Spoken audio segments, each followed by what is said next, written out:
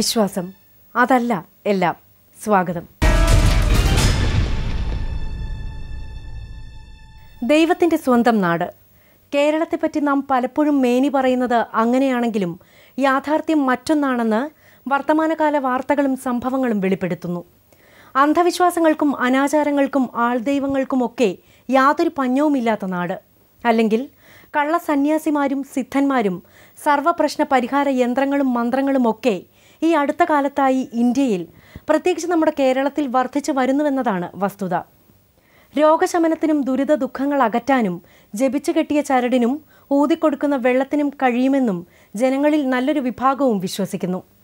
അഭ്യസ്ത വിദ്യരെന്നും പരിഷ്കൃത സമൂഹമെന്നും ഗർവ് പറയുന്ന ജനം ഇത്ര കൂരിരുട്ടിലാകുന്നത് എന്തുകൊണ്ടാവാം? വിശ്വാസങ്ങളും യാഥാർത്ഥ്യവും തമ്മിലുള്ള അന്തരം പരിശോധിക്കുന്ന ഈ വേദി പ്രസക്തമാകുന്നതും അതുകൊണ്ട്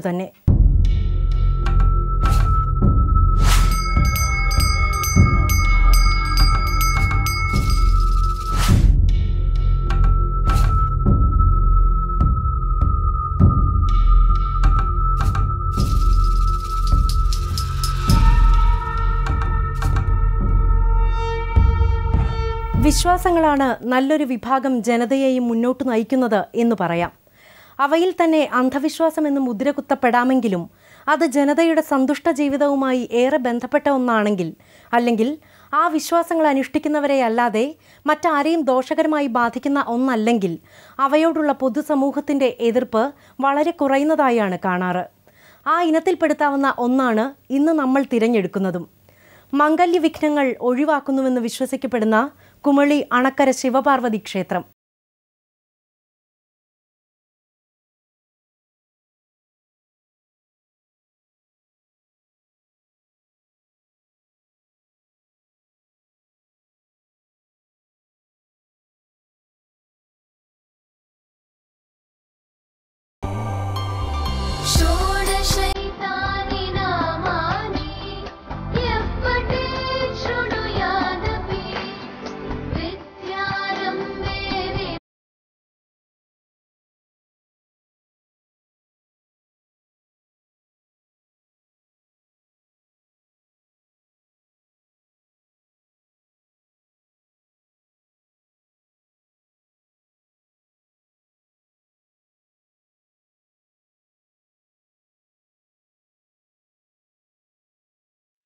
മംഗല്യയോഗം മാഞ്ഞുവെന്ന് കരുതപ്പെടുന്നവർക്ക് പോലും അവസാനത്തെ അത്താണിയായി ഒരു ക്ഷേത്രം.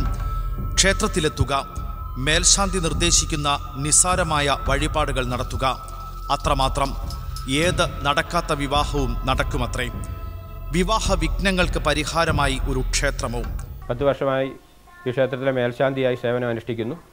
എന്റെ ഒരു അനുഭവത്തിൽ ഈ പത്ത് വർഷത്തിനുള്ളിൽ ഏകദേശം അയ്യായിരത്തിൽ പുറത്ത് ആൾക്കാരുടെ മംഗല്യം നടന്നതായി ഏകദേശം ഒരു ഓർമ്മയുണ്ട്. ഒരിക്കലും നടക്കത്തില്ല എന്ന് പോലും വിചാരിച്ചിരുന്ന വിവാഹങ്ങൾ പോലും ഇവിടെ വന്ന് പ്രാർത്ഥിച്ച് അവരുടെ മംഗല്യം കഴിഞ്ഞതിന് ശേഷം അവരിവിടെ തിരികെ എത്തി വഴിപാടുകൾ നടത്തി പോകാറുണ്ട്.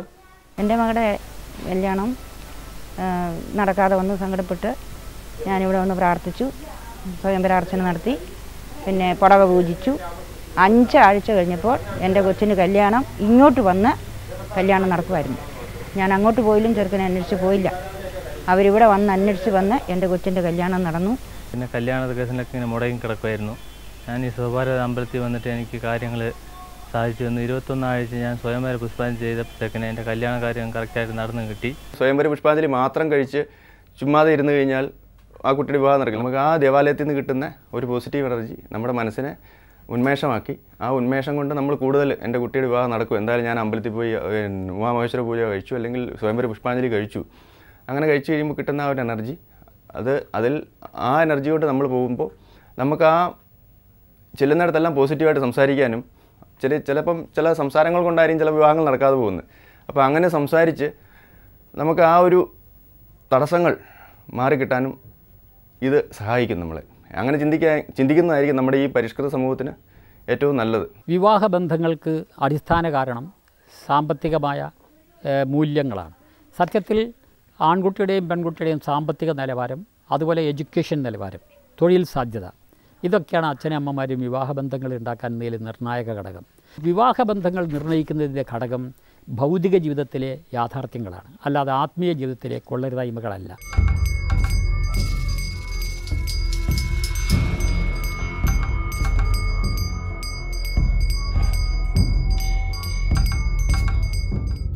വിശ്വാസം അതല്ല എല്ലാം ഇന്ന് അന്വേഷിക്കുന്നത് ഇതാണ്. വിവാഹ വിഘ്നങ്ങൾക്ക് കുമളി അണക്കര ക്ഷേത്രം പരിഹാരം കാണുമോ?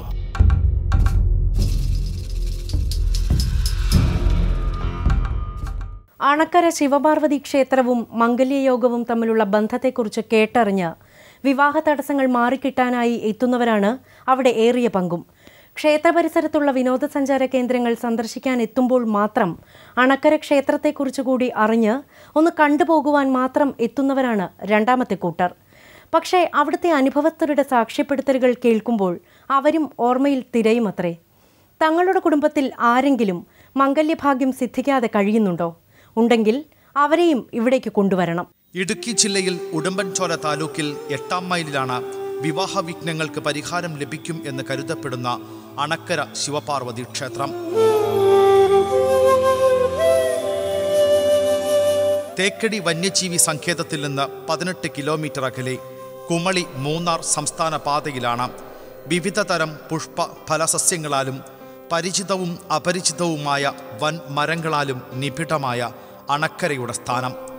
ഇവിടുത്തെ വിവിധതരം സുഗന്ധദ്രവ്യങ്ങളും ചുറ്റുപാടുമുള്ള വിനോദസഞ്ചാര കേന്ദ്രങ്ങളും പിന്നെ വിവാഹ തടസ്സങ്ങൾക്ക് പരിഹാരമായി നിലകൊള്ളുന്നു എന്ന് ചിലരെങ്കിലും വിശ്വസിക്കുന്ന അണക്കര ശിവപാർവതി ക്ഷേത്രവുമാണ് പരദേശികളെ മുഖ്യമായും ഇവിടേക്ക് ആകർഷിക്കുന്നത്.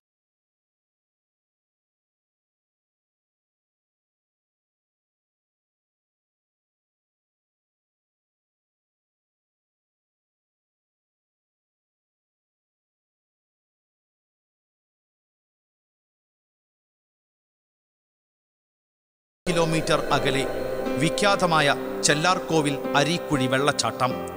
കേരളത്തിന്റെ അതിർത്തിയിൽ നിന്നുള്ള ജലപാതം പതിക്കുന്നത് തമിഴ്നാട്ടിൽ.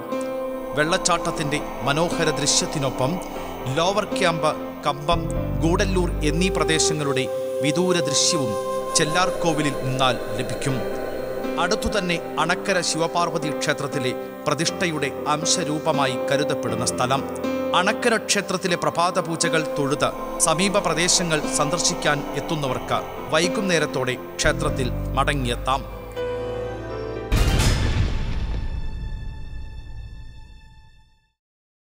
ശിവപാർവതി ക്ഷേത്രങ്ങളും അർദ്ധനാരീശ്വര ക്ഷേത്രങ്ങളുമൊക്കെ കേരളത്തിൽ വേറെയും പലതുണ്ടെങ്കിലും അണക്കര ശിവപാർവതി ക്ഷേത്രം മാത്രം വിവാഹ തടസ്സങ്ങൾക്കുള്ള പരിഹാര കേന്ദ്രമായി കണക്കാക്കപ്പെടുന്നത് എന്തുകൊണ്ട്? അവിടുത്തെ പ്രതിഷ്ഠയുടെ പ്രത്യേകത തന്നെയത്രേ കാരണം. മഹാദേവനും ശ്രീപാർവതിയും കിരാത ഭാവ- ഭാവത്തിൽ പ്രതിഷ്ഠിതമായിരിക്കുന്നു എന്നുള്ള സവിശേഷത ഇവിടുത്തെ പ്രത്യേകതയാണ്. അതുകൊണ്ട് തന്നെ ആവാം. മംഗല്യസിദ്ധിക്കായി നിരവധി ഭക്തജനങ്ങൾ വിദൂര ദേശങ്ങളിൽ നിന്ന് പോലും ഇവിടെ എത്തി. തിങ്കളാഴ്ച ദിവസങ്ങളിൽ സ്വയംവര പുഷ്പാഞ്ജലി ഉമാമഹേശ്വര പൂജ നടത്തി കാര്യസാധ്യം പ്രാപിക്കാറുണ്ട്. ഒരാൾ എന്റെ അടുത്ത് വന്നു. നിങ്ങളുടെ വിവാഹം നടക്കുമോ ഇല്ലയോ എന്ന് എന്നോട് ചോദിക്കുകയാണെന്ന് കരുതുക. സ്വാഭാവികമായിട്ടും ഞാൻ ഒരു ഉത്തരം പറയും. നടക്കാം എന്ന് ഉത്തരം പറഞ്ഞാൽ കല്യാണം അഥവാ നടക്കുകയാണെങ്കിൽ ഞാൻ സെൻ പെർസെന്റ് വിജയിച്ചു. നേരെ മറിച്ച് അത് നടന്നിട്ടില്ലെങ്കിലോ സെൻ പെർസെന്റ് തോറ്റു. ഈ ജയാപജയ വിശ വിലയിരുത്തൽ നടത്താൻ സാധാരണക്കാരന് സമയമില്ല. അതുകൊണ്ട് ഇതിന്റെ യഥാർത്ഥ സത്യം എന്താണെന്ന് പലർക്കും അറിയില്ല. ജയിച്ച കാര്യങ്ങൾക്ക് വമ്പിച്ച ജനകീയ പ്രചാരവില തോറ്റ കാര്യങ്ങൾക്ക് പൂർണമായ മൗനം. ഈ ക്രൂരത ഈ ദൈവിക അത്ഭുത ചൂഷണ തന്ത്രങ്ങളുടെ ഒരു ഭാഗമാണ്.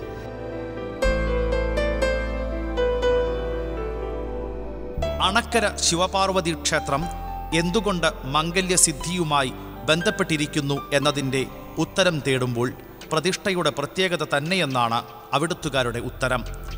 ശിവപാർവതിമാർ വേടന്റെയും വേടത്തിയുടെയും രൂപത്തിൽ അതായത് കിരാതഭാവത്തിൽ കുടികൊള്ളുന്നു തന്നെയത്രേ കാരണം വ്യത്യസ്ത ഭാവത്തിൽ പത്നി സമേതനായി ശാന്തരൂപത്തിൽ കുടികൊള്ളുന്ന പരമശിവൻ. അതുകൊണ്ട് തന്നെ ലൗകിക ജീവിതത്തിൽ ഒരു പങ്കാളിയെ ലഭിക്കണമെന്ന പ്രാർത്ഥനയോടെ എത്തുന്നവരെ ആരെയും സങ്കടത്തോടെ മടക്കി അയക്കില്ലത്രേ. പ്രശ്നപരിഹാരങ്ങൾക്കായി വിവിധ ആരാധനാലയങ്ങൾ സന്ദർശിച്ച് അണക്കര ക്ഷേത്രത്തിൽ എത്തുന്നവരെ ആകർഷിക്കുന്ന ഘടകങ്ങളിൽ മറ്റൊന്ന് അവിടുത്തെ വ്യത്യസ്തമായ വിഗ്രഹമത്രേ. മറ്റെല്ലാ ശിവ ശിവപാർവതി ക്ഷേത്രത്തിൽ നിന്നും വ്യത്യസ്തമായി ഇവിടെ ഒരു പ്രത്യേകത എന്ന് പറയുന്നത് മഹാദേവനും പാർവതിയും ദേവിയും ഒരേ പീഠത്തിൽ തന്നെ പ്രതിഷ്ഠിതമായിരിക്കുന്നു. അതേപോലെ തന്നെ കിരാത ഭാവത്തിലാണ്. കാട്ടാള ഭാവത്തിൽ അമ്പും വില്ലും കൊമ്പം വീശയുമായി പ്രതിഷ്ഠിതമായിരിക്കുന്ന മഹാദേവനും കാട്ടാള ഭാവത്തിൽ പ്രതിഷ്ഠിതമായിരിക്കുന്ന പാർവതി ദേവിയുടെയുമാണ് പ്രതിഷ്ഠ. അത് കേരളത്തിലെ തന്നെ അപൂർവം പ്രതിഷ്ഠകളിൽ ഒന്ന് മാത്രം ആണ് എന്നുള്ളതിന്റെ ഒരു പ്രത്യേകതയാണ്. സാധാരണ ശിവക്ഷേത്രങ്ങളിൽ ഒരു ശിവലിംഗ പ്രതിഷ്ഠ മാത്രമെങ്കിൽ ഇവിടെ കറുത്ത ശിലയിലുള്ള അമ്പും വില്ലുമായി കൊമ്പൻ മീശയുള്ള കാട്ടാള രൂപവും ഒപ്പം കാട്ടാളത്തിയുടെ രൂപവുമാണ് പ്രതിഷ്ഠ. വിവാഹ വിഘ്നങ്ങൾക്ക് പരിഹാരം കാണുന്നത് കിരാതരൂപത്തിലുള്ള ശിവപാർവതിമാരെങ്കിൽ തൊട്ടടുത്ത ശ്രീകോവിലിൽ വാഴുന്ന ഭദ്രകാളിയാണ് ആശ്രയം തേടിയെത്തുന്നവരുടെ മറ്റു ദുരിതങ്ങൾക്ക് ശമനമുണ്ടാക്കുന്നതെന്ന് മറ്റൊരു വിശ്വാസം. എനിക്ക് ഈ അമ്പലത്തിൽ വന്ന് രണ്ട് അനുഭവങ്ങളാണ് ഉണ്ടായിരിക്കുന്നത്. ഒന്ന് എന്റെ കല്യാണം നടക്കാതിരിക്കുകയായിരുന്നു. ഓരോ തടസ്സങ്ങൾ കൊണ്ട് കല്യാണം മാറി മാറി പോയിക്കൊണ്ടിരിക്കുകയായിരുന്നു. ഞാൻ അമ്പലത്തിൽ വന്ന് തിരുമേനിയെ കണ്ടു. പന്ത്രണ്ട് തിങ്കളാഴ്ച വന്ന് അമ്പലത്തിൽ വന്ന് തൊട്ടു തൊഴാൻ പറഞ്ഞു. ഭഗവാന് മാല ചാർത്താൻ പറഞ്ഞു. ആറ് ആറാഴ്ച ആയപ്പോഴത്തേക്കും എന്റെ വിവാഹം നടന്നു. അത് കഴിഞ്ഞ് ഒന്നര വർഷമായിട്ടും കുട്ടികളില്ലാതിരിക്കുകയായിരുന്നു. അതും ആശുപത്രികളിൽ പോയി. അത് കഴിഞ്ഞ് തിരുമേനിയെ വന്ന് കണ്ടു. തിരുമേനിയെ വന്ന് കണ്ട് അമ്പലത്തിൽ പൂജ ചെയ്യാൻ പറഞ്ഞു. പന്ത്രണ്ട് വെള്ളിയാഴ്ച അമ്പലത്തിൽ വരാൻ പറഞ്ഞു. ഏഴ് വെള്ളിയാഴ്ച ആയപ്പോഴത്തേക്കും വൈഫിന് വിശേഷമായി. ഞങ്ങൾക്ക് ഏഴ് വർഷം പിള്ളേരില്ലായിരുന്നു. ഒത്തിരി ആശുപത്രിയിലും മരുന്നുകളെല്ലാം കഴിച്ചും നമുക്ക് പിള്ളേരില്ലായിരുന്നു. ഭയങ്കര ബുദ്ധിമുട്ടായിരുന്നു. പിള്ളേരും ഇല്ലെന്നുള്ള ഒരു ബുദ്ധിമുട്ട് അത് പറഞ്ഞറിയാൻ പ- പറ്റത്തില്ല. ഒരങ്ങനെ ഒരു എന്റെ മനസ്സ് ഒരുക്കി തൊഴുതു. എനിക്ക് ഉരുളി കമത്തി എനിക്കൊരു പെങ്കൊച്ച് ആദ്യം ഉണ്ടായി രണ്ടാമത് രണ്ട് ഒരാങ്കൊച്ച് രണ്ട് പിള്ളേരുണ്ട്. ശുദ്ധ അസംബന്ധമാണത്. ഒരിക്കലും അങ്ങനെ സംഭവിക്കാൻ വഴിയില്ല. അവിടെ നമുക്ക് ഒരു കാര്യം ചെയ്യാം.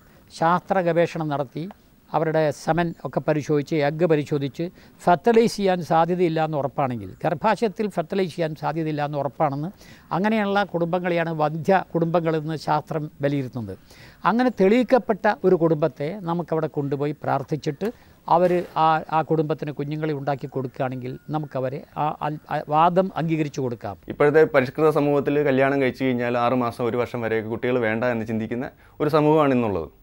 അപ്പോൾ അവർ ആറുമാസം കഴിയുമ്പോൾ അല്ലെങ്കിൽ ഒരു വർഷം കഴിയുമ്പോൾ അവർ കുട്ടികൾ വേണമെന്ന് ചിന്തിക്കുമ്പോൾ അവർക്ക് ഒരു വർഷം കഴിയുമ്പോൾ അവർ ചിന്തിക്കുമ്പോൾ ആ വേണം എന്നുള്ള ചിന്ത കൊണ്ട് ഓട്ടോമാറ്റിക്കായിട്ടൊരു സ്ട്രെസ്സ് നമ്മുടെ മനസ്സിൽ ഡെവലപ്പ് ആവുകയാണ്. ആ ഒരു സ്ട്രെസ്സ് പിന്നെ കുടുംബത്തിൽ നിന്ന് ഇപ്പം പെൺകുട്ടിയുടെ സൈഡിൽ നിന്നാണ് ആൺകുട്ടിയുടെ സൈഡിൽ ഭാര്യയുടെ ഭർത്താവിന്റെ സൈഡിൽ നിന്നുള്ള പ്രഷർ എന്തുകൊണ്ട് ഇവർ കുട്ടികൾ ഉണ്ടാവുന്നില്ല? അങ്ങനെ വരുമ്പോൾ ഈ ഒരു സ്ട്രെസ് കൊണ്ട് അവർക്ക് ബന്ധപ്പെടേണ്ട സമയത്ത് ബന്ധപ്പെടാതിരിക്കുകയും അങ്ങനെ അവർക്ക് ആ ഒരു സ്ട്രെസ് കൊണ്ട് ഈ നമ്മുടെ ശാരീ ഈ സ്ട്രെസ് കൊണ്ടുണ്ടാകുന്ന ഹോർമോൺസ് കൊണ്ട് നമ്മുടെ ശരീരത്തിലുണ്ടാകുന്ന മാറ്റങ്ങൾ അതുകൊണ്ട് നമ്മുടെ കൗണ്ട്സ് കുറയും അങ്ങനെയാണ് ശരിക്കും പറഞ്ഞു കഴിഞ്ഞാൽ ഈ നമുക്ക് ഈ കുട്ടികൾ ഉണ്ടാവാതിരിക്കുന്നത് ഒരു പരിധി വരെ അല്ലാണ്ട് ശാരീരികമായിട്ടുള്ള മറ്റ് ഉണ്ടാകുന്ന പ- കാര്യങ്ങളുണ്ട്. അതല്ലാതെ ദേവാലയത്തിൽ പോകുമ്പോൾ നമുക്ക് കുട്ടികൾ ഉണ്ടാകുന്നതും ഇതുണ്ട്. കാരണം വെച്ചാൽ നമുക്ക് അവിടുന്ന് കിട്ടുന്നൊരു പോസിറ്റീവ് എനർജി ഉണ്ട് നമുക്ക് നടക്കും നടത്താൻ പറ്റും എന്നുള്ള ഒരു ചിന്ത. അപ്പോൾ ആ ഒരു ചിന്ത അവരെ പോസിറ്റീവായിട്ട് ചിന്തിപ്പിക്കുകയും അങ്ങനെ അവർ അതേ യഥാവിധി പിന്നെ ശരീരത്തിന്റെ സൈക്കിൾ അനുസരിച്ച് അവർ ആ ഒരു ബന്ധത്തിൽ ഏർപ്പെടുകയും ചെയ്യുമ്പോൾ നമുക്ക് കുട്ടികൾ ഉണ്ടാവുകയും ചെയ്യുന്നു.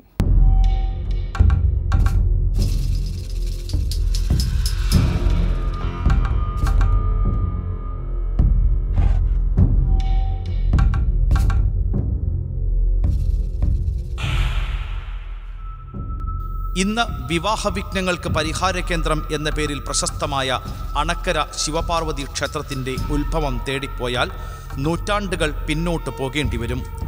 വളരെ പ്രാചീന കാലത്തുള്ളതും പിന്നീട് കാലപ്രവാഹത്തിൽ മണ്ണിനടിയിലാവുകയും ചെയ്ത ഒരു ബൃഹത് ക്ഷേത്രത്തിന്റെ അവശിഷ്ടങ്ങൾ കഴിഞ്ഞ അമ്പത് വർഷങ്ങൾക്കിടയിൽ കണ്ടെടുക്കപ്പെടുകയും ഇന്നത്തെ രൂപത്തിൽ പുനർനിർമ്മിക്കപ്പെടുകയും ചെയ്യുകയായിരുന്നു.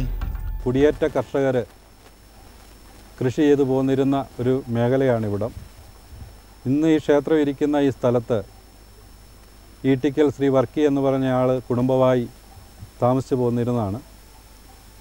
ഈ ഈട്ടിക്കൽ വർക്കി കുടുംബത്തിനും തുടർച്ചയായി ചില അനിഷ്ട സംഭവങ്ങളൊക്കെ കുടുംബത്തിൽ ഉണ്ടായിക്കൊണ്ടിരുന്ന സാഹചര്യത്തിൽ ഈ ക്ഷേത്രത്തിന്റെ ഇന്നിരിക്കുന്ന ഈ സ്ഥലവുമായി ബന്ധപ്പെട്ട് അത് ഈ നാട്ടിലെ കുറച്ച് ഹൈന്ദവ അംഗങ്ങൾക്ക് വിട്ടുകൊടുക്കുകയും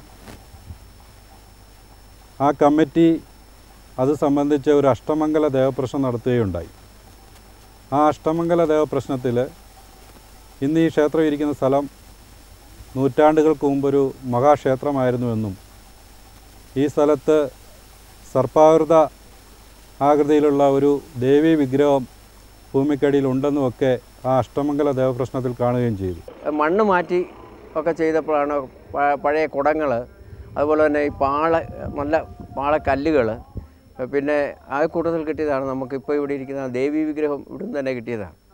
അപ്പം പണ്ട് പ്രശ്നം വെച്ച് കഴിഞ്ഞപ്പോൾ ഇവിടെ പണ്ടൊരു മഹാക്ഷേത്രം ഉണ്ടായിരുന്നെന്നും ഈ പ്രദേശം മുഴുവൻ ക്ഷേത്രത്തിന്റെ അധീനതയിലുള്ളതാണെന്നും ഇപ്പോൾ ഈ റോഡിന് താഴെ മെയിൻ റോഡിന് താഴെ ഈ ക്ഷേത്രത്തിന്റെ കുളമുണ്ടായിരുന്നതായിട്ടും എല്ലാം നശിപ്പിക്കപ്പെട്ടു പോയതാണെന്നും ഒക്കെയാണ് ദേവപ്രശ്നത്തിൽ കണ്ടത്. ക്ഷേത്രചരിത്രം അവിടെ നിൽക്കട്ടെ. വീണ്ടും പ്രധാന പ്രശ്നങ്ങളിലേക്ക് വരാം. എല്ലാ വിശ്വാസങ്ങളെയും പോലെ തന്നെ അണക്കര ക്ഷേത്രവുമായി ബന്ധപ്പെട്ട് നിലനിൽക്കുന്ന വിശ്വാസത്തിനും കൃത്യമായ വിമർശനം പലരും ഉന്നയിക്കുന്നുണ്ട്. ശാസ്ത്രീയമായ യാതൊരു അടിത്തറയും അവകാശപ്പെടാനില്ലാത്ത ശക്തമായൊരു വിശ്വാസത്തിനെതിരെ കൃത്യമായ ചോദ്യങ്ങൾ ഉന്നയിച്ചുള്ള ഒരു വിമർശനം. മറ്റു പല വിശ്വാസങ്ങളെയും പോലെ തന്നെ പുരോഗമന ചിന്താഗതികൾ വെച്ചു പുലർത്തുന്നവർക്ക് അണക്കര ക്ഷേത്രവും വിവാഹ വിഘ്ന പരിഹാരവും തമ്മിലുള്ള ബന്ധത്തെയും ശാസ്ത്രീയമായ യാതൊരു അടിസ്ഥാനവുമില്ല. അല്ലെങ്കിൽ യുക്തിബോധത്തിന് നിരക്കാത്തത് എന്ന പേരിൽ തീർച്ചയായും തള്ളിക്കളയാവുന്നതാണ്.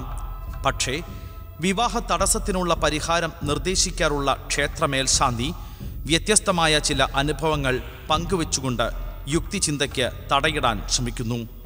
വളരെ വിരൂപിയായ ഒരു കുട്ടിയുമായി ഒരു അമ്മ ഒരിക്കൽ ഇവിടെ വരികയുണ്ടായി. മുപ്പത്തി അഞ്ച് വയസ്സിന് പുറത്ത് പ്രായമായി കുട്ടിയുടെ വിവാഹം നടക്കത്തില്ല എന്ന് ഭഗവാന്റെ നടയിൽ വെച്ച് എന്നോട് പറയുകയുണ്ടായി. ആ കുട്ടിയെ കണ്ടപ്പോൾ എനിക്ക് തന്നെ സംശയം തോന്നി. ഇതിന്റെ വിവാഹം നടക്കുന്ന കാര്യം ബുദ്ധിമുട്ടാണ്. എങ്കിലും എല്ലാ ഭക്ത എല്ലാവരോടും പറയുന്ന പോലെ തന്നെ പറഞ്ഞു. അമ്മ കൃത്യമായും വന്ന് ഇരുപത്തിയൊന്ന് തിങ്കളാഴ്ച ഭഗവാന് ശമര പുഷ്പാഞ്ജലി കഴിക്കൂ. തീർച്ചയായും കുട്ടിയുടെ വിവാഹം നടക്കും എന്ന് പറഞ്ഞു. സംശയം മനസ്സിൽ ഉണ്ടായിരുന്നു എങ്കിലും പിന്നീട് എന്തോ ഭഗവാന്റെ മഹാത്ഭുതം. അഞ്ചാമത്തെ ആഴ്ച ആ കുട്ടിയുടെ വിവാഹം നിശ്ചയം നടക്കുകയും ഇരുപത്തൊന്ന് തിങ്കളാഴ്ചയ്ക്ക് മുന്നേ വിവാഹവും നടന്ന് ആ കുട്ടിയും ഭർത്താവും ചേർന്ന് ഇവിടെ എത്തി. ഉമാമഹേശ്വര പൂജ നടത്തി പ്രാർത്ഥിച്ചു പോവുകയും ചെയ്തതായിട്ടുള്ള അനുഭവം ഈ പത്ത് വർഷത്തിനുള്ളിൽ അങ്ങനെ നിരവധി അനുഭവങ്ങൾ ഉണ്ടായിട്ടുണ്ട്. ശരി വിശ്വാസങ്ങൾ അങ്ങനെ നിൽക്കട്ടെ. എങ്കിൽ അണക്കര ക്ഷേത്രത്തിലെ വിശ്വാസം ഫലം നേടിക്കൊടുത്തവർ ഉണ്ടോ എന്ന അന്വേഷണത്തിൽ ഉണ്ട് എന്ന സാക്ഷ്യപ്പെടുത്തലുമായി എത്തിയവർ നിരവധി. എന്റെ കല്യാണം ഇച്ചിരി തടസ്സങ്ങളൊക്കെ ഉണ്ടായിരുന്നു. കുറേ പ്രോ പ്രോബ്ലംസ് ഒക്കെ ഉണ്ടായിരുന്നു. പിന്നെ ഇവിടെ വന്നിട്ട് ഉമാമൈശ്വര പൂജ എല്ലാം കൂടിയിട്ട് അത് കൂടി കഴിഞ്ഞ് ഒരു രണ്ട് മാസം പോലും ആയില്ല. എന്റെ കല്യാണം അങ്ങനെ പെട്ടെന്ന് നടന്നിരുന്നു. പിന്നെ അതുപോലെ എന്റെ ചേച്ചിക്കും ഒരു നയൻ ഇയേഴ്സ് കൊച്ചില്ലാതെ ഉണ്ടായിരുന്നു. അന്നേരം ഇവിടെ വന്നിട്ട് പൂജയെല്ലാം കൂടിയിട്ട് അത് കഴിഞ്ഞ് പെട്ടെന്ന് അങ്ങനെ പിള്ളേരുണ്ടായി. കോളക്കം സൃഷ്ടിച്ച കേസുകളിലെ പ്രതിയായിരുന്നു ഞാൻ ആ കാരണം കൊണ്ട് തന്നെ എന്റെ മക്കളുടെ മകളുടെ വിവാഹം നടക്കാതെ പോയ സാഹചര്യമുണ്ട് ഇരുപതാമത്തെ വയസ്സിൽ ആലോചിച്ച വിവാഹം ഇരുപത്തി എട്ടാമത്തെ വയസ്സിൽ അണക്കര അണക്കരയിലെ വല്യമ്മയുടെ അനുഗ്രഹം കൊണ്ട് ആ അവിടെ നിരന്തര പ്രാർത്ഥന കൊണ്ട് അമ്മ സാധിച്ചു തന്നിട്ടുണ്ട്.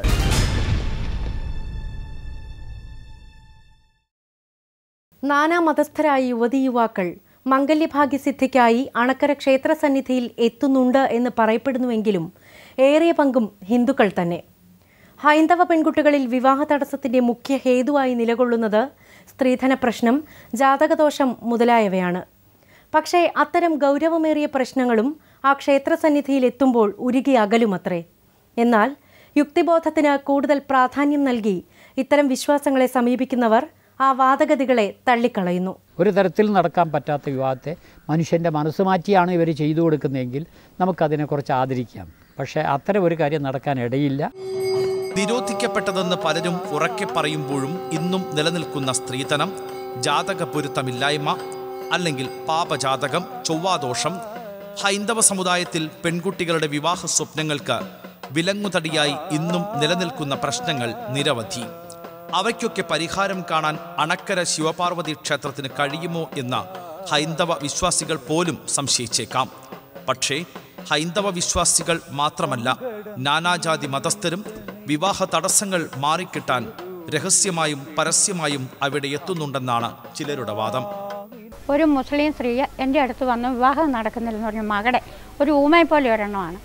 അപ്പം ഞാൻ പറയാം പിന്നെ കാര്യങ്ങൾ പറയാം അതുപോലെ കേൾക്കാവോ എന്ന് ചോദിച്ചപ്പോൾ പറഞ്ഞു ഞാൻ കേൾക്കാം അമ്മ എന്ത് ഞാൻ കേൾക്കാം? വിവാഹം നടന്ന് കിട്ടിയാൽ മതിയെന്ന് പറഞ്ഞു. ശരി എന്ന് പറഞ്ഞ് ഞാൻ വിളിച്ചോണ്ട് അപ്പോൾ ക്ഷേത്രത്തിൽ കയറാൻ ഞങ്ങൾക്ക് പറ്റത്തില്ലെന്ന് പറഞ്ഞു. അപ്പോൾ തിരുമേനിയുടെ അടുത്ത് വന്ന് പറഞ്ഞാൽ അത് സാധിച്ചിടും തിരുമേനിയുടെ അടുത്ത് ഞാൻ കൊണ്ടുവന്നു. കൊണ്ടുവന്ന് ഇവിടെ കയറാൻ ഞാൻ തന്നെ അത് ഇരുപത്തൊന്ന് അതൊരു പതിനഞ്ച് കഴിഞ്ഞപ്പം വിവാഹം കഴിഞ്ഞു. വിശ്വാസം അതല്ല എല്ലാം എന്ന ഈ വേദിയിൽ നമ്മൾ ഓരോ പ്രശ്നവും ചർച്ച ചെയ്യുമ്പോഴും ഒടുവിൽ തീരുമാനം പ്രേക്ഷക സമൂഹത്തിന് വിടുകയാണ് ചെയ്യുക.